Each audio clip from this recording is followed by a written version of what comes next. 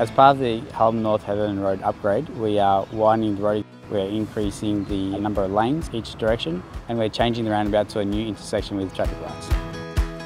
Quite a bit of work in terms of uh, terrain being very different on different road levels. So we're looking to use different uh, retaining walls to obviously increase the road level to match it all into the same and to do some signalised intersections to increase um, safety and durability for the road. We've got three different retaining walls which we're installing on site.